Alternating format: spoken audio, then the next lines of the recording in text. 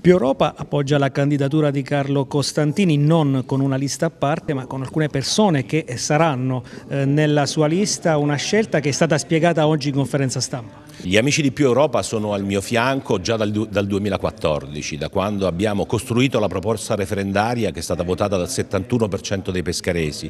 Io con il mio polo civico voglio rappresentarli tutti e per farlo evidentemente non ho potuto accettare il sostegno di partiti politici.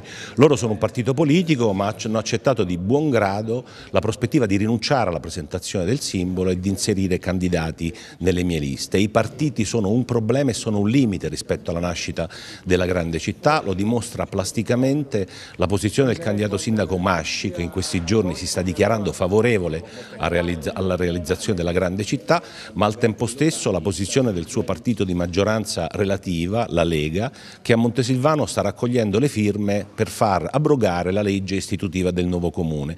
Io non riesco a immaginare come maggioranze così litigiose e così divise rispetto a, a progetti strategici per il futuro di Pescara possano possano assicurare i pescaresi rispetto al raggiungimento di un obiettivo che è l'obiettivo di tutti, perché se nel 2014 erano il 71 Oggi penso che almeno l'80-90% dei pescaresi siano favorevoli alla realizzazione della grande città. Per noi la realizzazione del progetto La Grande Pescara è di per sé un programma elettorale. Carlo Costantini è la persona migliore per portare la nostra città al compimento di questo grande passaggio. Vogliamo una città più grande.